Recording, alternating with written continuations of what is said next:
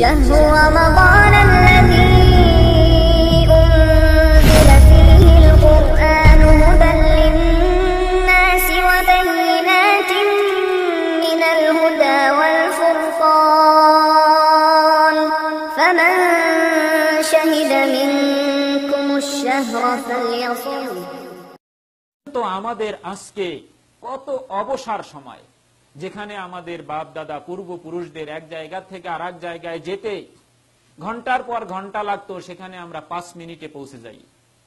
যে কাজ করতে একটা জমানা ছিল, মেশিন ছিল না, তখন ঢেকিতে চাল বানায়ে এরপরে খেতে হতো। বলেন তো, কত দিনের একটা আয়োজন? আর এখন পাঁচ মিনিটের ভিতরে সবকিছু রেডি এত কিছুর পরে আমাদের সময় নেই। সময় আসলে রয়েছে কিন্তু আমরা আল্লাহ সুবাহান তালাকে ভুলে যাওয়ার কারণে আল্লাহ আমাদেরকে ভুলে গিয়েছেন আর এরই শাস্তি হিসাবে আল্লাহ সময়ের বরকত উঠাই নিয়েছেন। আজকে সময় রয়েছে ঘন্টায় ঘন্টায় মোবাইলে, এখানে, ওখানে, টেলিফোনে কথায়, ফেসবুকে বিভিন্ন ভাবে আমাদের সময় যাচ্ছে কি যাচ্ছে না। বন্ধুর পাশে বসলে ঘন্টায় ঘন্টায় আমাদের আলাপ, কিন্তু যদি দুই মিনিট, পাঁচ মিনিটের জন্য যে একটু কোরআন খুলে মসজিদে বসি, কোরআনের দুটো আয়াত করি এই সময়টুকু আমাদের কি হয় না? তো আল্লাহ রসুল সাল্লাহ সাল্লাম বললেন যে দুটো নেয়ামাত রয়েছে, যেই নেয়ামাতের ব্যাপারে অধিকাংশ মানুষ হচ্ছে কি? উদাসীন, যেই নেয়ামাতের মধ্যে ডুবে থেকেও নেয়ামাতকে চিনতে পারেনি। যেই দুটি মূলধন ব্যবহার করে তারা ব্যবসায় লাভবান হতে পারছে না, অধিকাংশ মানুষই। এই অবস্থার ভিতরে রয়েছে। শুধু অল্প সংখ্যক মানুষ এই দুটো মূলধনকে কাজে লাগাতে পেরেছে, যার কারণে তারা অবসর সময়কে কখনই কোন শয়তানের কাজে ব্যবহার করে না। যখনই সে সময় পায়, তখনই সে কি করে? হয় কোরআন তেলাওয়াত করে। না হয় সে দুই রেখাত সালাত আদায় করে। না হয় সে আত্মীয় স্বজনের খোঁজ খবর নেয়। না হয় সে পিতামাতার সেবা করে। না হয় সে একটু কোরআন তেলাওয়াত করে। আর না হয় সে সোবহান আল্লাহ জেকের করে। আলহামদুলিল্লাহ, এই তাহমিদ সে পড়তে থাকে। আল্লাহ আকবার সে জপতে থাকে। নবীর উপরে দুরুদ পড়তে থাকে। সে বারবার সোবাহান আল্লাহ সোবাহান আল্লাহ আজিম এই জেকেরগুলো করে যাচ্ছে। যাদেরকে আল্লাহ সোবাহান এই তৌফিকটুকু দিয়েছেন, হাদিসের ভিতরে এসেছে, আল্লাহ সোবাহান যখন জান্নাতীদেরকে জান্নাতের ফয়সালা দিয়ে দিবেন জান্নাতে যাওয়ার পরে আল্লাহ সুবাহান এই জান্নাতি মানুষটাকে জাহান নামে তার অবস্থা দেখাবেন। কীরকম দেখাবেন? আল্লাহ সুবাহ বান্দাকে বলবেন যে, হে বান্দা, তুমি যদি এই ভালো কাজগুলো যদি না করতে আজকে, তাহলে তোমার ঠিকানা হতো ওই যে জাহান্নাম, ওই যে দেখো। তখন এই জান্নাতি বান্দা জাহান্নামের দিকে তাকায়, দেখে এরপরে সে কি করতে থাকবে?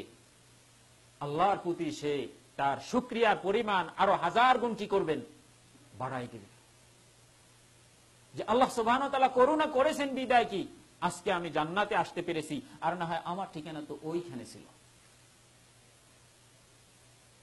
ঠিক একইভাবে জাহান নামে যখন একটা মানুষ যাবে, আল্লাহর বিচারের ফয়সালার পরে, ওই জাহান নামী মানুষটাকে আল্লাহ সুবাহ জান্নাতের ভিতরে দেখাবে যে, হে বান্দা, ওই যে দেখো, তুমি যদি এই অপকর্মগুলো, নাফারমানিগুলো আজকে না করতে, তাহলে তোমার ঠিকানা ছিল যে, ওই যে ওইখানে। তখন এই অবস্থাগুলো দেখে ওই জাহান নামী মানুষটা জাহান নামের ভিতরে আরও হাই হুতাশ আফসুস করতে থাকবে, তার আফসুস আরও বেড়ে যাবে। বলেন তো, আমরা কোন দলে থাকব? ওই জান্নাতি মানুষ যে জান্নাতের ভিতরে বসে জাহান নামের ওই অবস্থা দেখে আল্লাহ সুহান তালার প্রতি তার সুক্রিয়া কৃতজ্ঞতার পরিমাণ আরও বাড়ায় দেবে। তাদের দলভুক্ত হব। না ওই যে জাহান্নামি যে জান্নাতের অবস্থা দেখে হায় হুতাশ, আফসুস বাড়িয়ে দেবে, ওই মানুষটার সাথে থাকবে। আজকে যদি আমরা চিন্তা করি, না, ওই জান্নাতে গিয়ে জাহান নামে ওরকম আমার অবস্থা দেখে জান্নাতের মধ্যে বসে আমি আল্লাহর প্রতি আরও কৃতজ্ঞতা বাড়িয়ে দেব, সেটা যদি আমাদের ইচ্ছা এবং পণ যদি হয়, তাহলে আজকে আমাকে সিদ্ধান্ত নিতে হবে যে এই দুটো নে নেয়ামাতকে অবসর এবং সুস্থতা আল্লাহ আমাকে দুটোই দিয়েছেন। যেমনি আমার বিস্তার, অবসর সময় রয়েছে, ঠিক একইভাবে আমি কি আজকে সুস্থ। জেকের করতে আমার এমন কোন অসুস্থতা আমার বাধা হয়ে দাঁড়াবে না যে আমি জেকের করতে পারব না। এমন কোন অসুস্থতা আমার বাধা হয়ে দাঁড়াবে না যে আমি দুই রাকাত নামাজ পড়তে পারব না। এমন কোন অসুস্থতা আমার বাধা হয়ে দাঁড়াবে না যে আমি কোরআন থেকে দুটো সুরা আমি তেলাওয়াত করতে পারব না। আজকে আপনাকে আমাকে সিদ্ধান্ত নিতে হবে যে আমরা এই পুঁজি এখনও আমাদের সময় রয়েছে। এই পুঁজিকে আমরা লাভজনক ব্যবসায় ইনভেস্ট করব কি করব না? আল্লাহ সুবহান হওয়া তালা যাদের বিবেক দিয়েছেন, নির্দ্বিধায় আমরা বলতে পারি যে আমাদের বিবেক বলবে যে নিঃসন্দেহে আমাদের এই পুঁজি কি করা উচিত? যেহেতু পুঁজি আমার হাতের নাগালে আর একজনের কাছে নয়, আমার হাতের নাগালে। অতএব এ পুঁজির যেহেতু আমি মালিক, অতএব এ পুঁজি আমি, আমার ইচ্ছা মতো আমি ব্যবহার করতে পারি। আর সেটা সময় থাকতেই কি করতে হবে? মৌসুম থাকতেই ব্যবহার করতে হবে। মৌসুম চলে গেলে আপনি পুঁজি যদি খাটায়, খাটানোর চিন্তা করেন আর পুঁজি নিয়ে আফসুস করেন, কোনো লাভ হবে? কোনো লাভ হবে। আল্লাহ সুবাহ আমাদেরকে বুঝার তৌফিক দান করেন।